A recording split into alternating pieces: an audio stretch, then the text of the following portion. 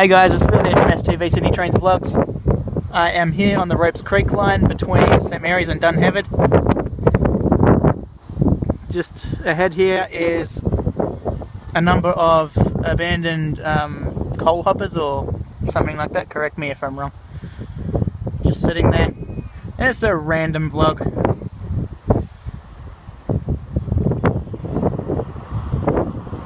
This is looking towards St Mary's. Now, if I was to look over this way,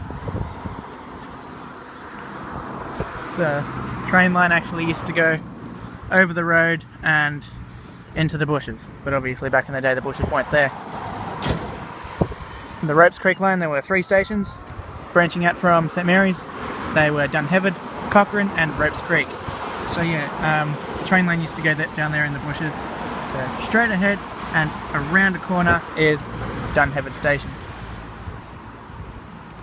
But yeah, it's been closed for so long. Just, yeah. Anyway, um, just complete and utter randomness.